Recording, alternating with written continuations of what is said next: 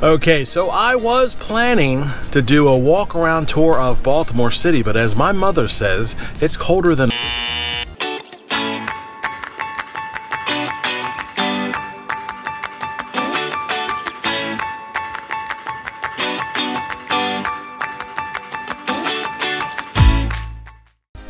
Okay, so I'm John Ruckman. I'm the Charm City Property Dude. In this video, we're going to go over the three main reasons why property taxes in Baltimore City are so high. But before we get there, go ahead and hit the like and subscribe button right about there and we're going to go over it and if you hang until the very end I'm going to give you a couple of ways that you can actually lower your property taxes and it's actually easier than you think absolute number one reason let's back up the boat a little bit so, as a real estate agent, I do a ton of BPOs. That's broker price opinions. You probably don't know what that is. The banks will send me out to do a valuation on houses that are either in default or they want to get rid of their mortgage payment insurance. So they'll send me out to the house. In fact, I got three today, and uh, they'll send me out to the house to take pictures of the house, uh, you know, and then I'll pull comps. And what I found with all the houses in the Maryland area is that taxes are usually 1% of the valued price, okay, of every house. And in the city, it's like 20% more. And the reason why it's so much more in the city is, is because the vacancy rate and vacancy of the homes is a lot higher than in the counties. So they have to overcompensate for those vacant houses. You know, those blocks and blocks and blocks and blocks of row homes that are like on the west side. Yeah, those houses. So thank the investors who are coming in and renovating this house, these houses, because then that'll put a family in there and they can start putting taxes into the system. But for now, there's so many vacancies and so many houses that are vacant, uh, they're just not collecting taxes on them. And that's what the number one reason why taxes in the city, or any city for that matter, is so high. Number two reason that taxes are so high in the Maryland area in general, have you seen the roads? They're absolutely beautiful.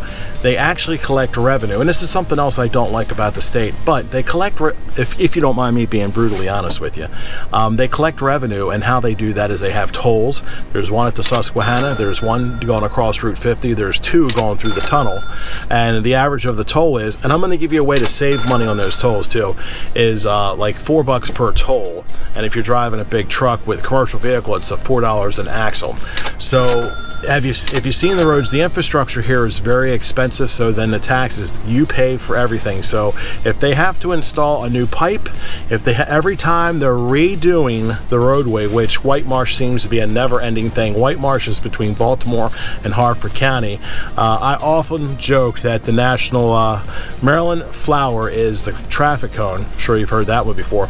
Um, but every time they put anything or do anything they have taxes so they collect taxes. And if they're constantly doing that. That's why the taxes are constantly high. So uh, there's special assessments for new construction, but that is the number two reason why taxes in the Baltimore area are so high because the infrastructure costs so much. Trash removal is free. Uh, maintaining the roadways, uh, maintaining the parks, maintaining the schools, all that money has to come from someplace, and guess who's it?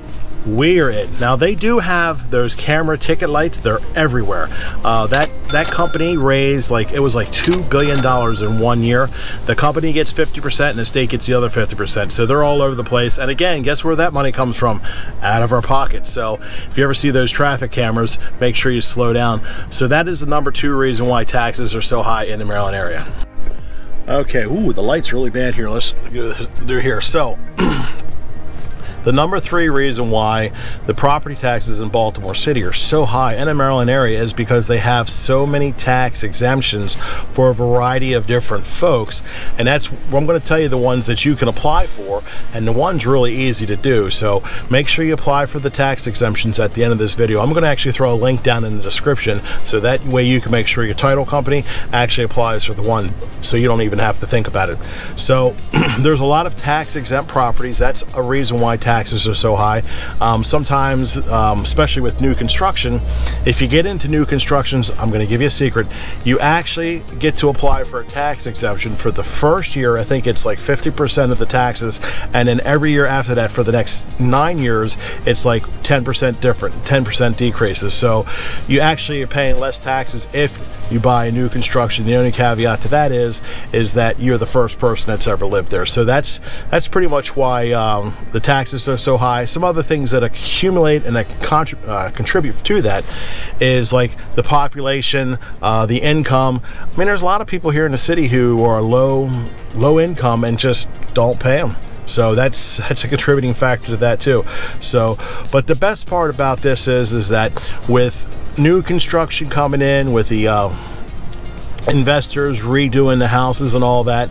Um, it, really is bringing in. It is called urban renewal. The whole city is up in urban renewal, and they're really, uh, you know, people, good people are moving in from the area because the jobs are just so great. And uh, I mean, you got like Under Armour, you've got uh, John Hopkins, you've got the DoD, Department of Defense. Um, Amazon is a big contributor here. Uh, so you have all these jobs coming in. With the jobs come the people people move into the houses and then they pay the taxes. So that's a good thing. Okay, so some of the ways you can save in your taxes, and this is the thing you want to tell your real estate agent. But before we do, go ahead and comment down below, and I'll send you a free guide, buyer's guide to Baltimore City and the Maryland area, and we'll go ahead and take care of that. So if you do that, I'll send you the guide. Appreciate it. Uh, go ahead and hit the like and subscribe button while you're there. Hit the notification bell for this video and all the other great videos. Ah, enough of that stuff. so anyway, um, the one big tax is the uh, fallen hero. So, for instance, if you're a uh, surviving spouse of, say, like uh, someone in the military, mainly it's police officers, firefighters, and that sort. Um, check with the military thing, but I do know that the fallen heroes, you don't pay any taxes while you're while you're still surviving and you don't I think you can get remarried but check into it. Um, you get 100% of your taxes paid for the life of the time you live in the city. So that's good. So that's the one thing. We got ooh hear that car going in the background? Hey.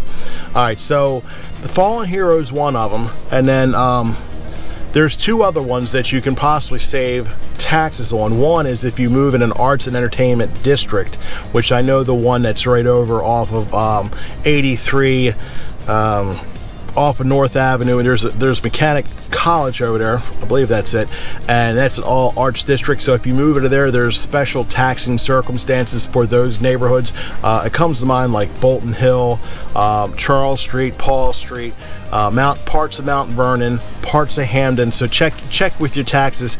That'll save you taxes. So if you find that you're moving into a house that's in one of the arts and entertainment districts, then you can go ahead and save taxes. And I think i have got a sneaking suspicion if they label it, like in the middle of Harford County, there's one.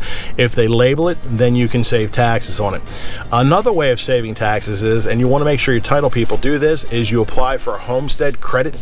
It just simply means you are the homeowner, you're living there, and this is your your homestead. Uh, usually, uh, when you buy the house, the taxes are a little higher. The title company will automatically appeal because you have 60 days of the time you move in to appeal your tax record.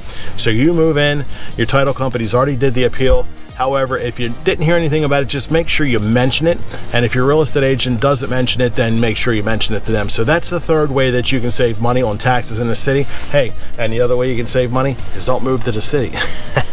I'm going to be brutally honest here. If you don't have to move into the city, it might not be for you. If you don't need to be downtown Baltimore, but your job is here in Maryland, you can move out to Harford County, Baltimore County. The taxes are exceptionally low. Usually it's about 1% of the value of your house. So if your house is 500,000, you can bet that your taxes are going to be $5,000 a year. So, and that will add, you can do the math, 5,000 divided by 12, that's what, 500, $460. So, and that is, if you can avoid if you don't want to pay high taxes, avoid Baltimore City. It may not be for you, and that's okay because there's plenty of other places around Maryland you can move.